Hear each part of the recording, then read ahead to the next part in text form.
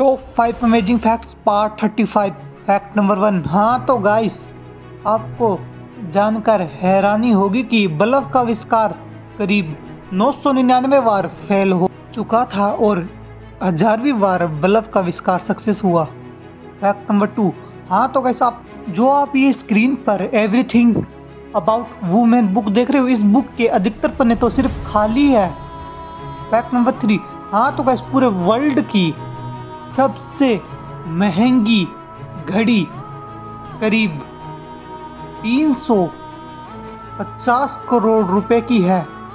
Fact number four हाँ तो guys पूरे वर्ल्ड की सबसे मज़बूत चीज़ हीरा है, यानी कि डायमंड फैक्ट नंबर फाइव हाँ तो गाइस कुत्ते को पालतू आज से करीब करोड़ों साल पहले बनाया गया था और लोग आज भी कुत्ते को पालते हैं।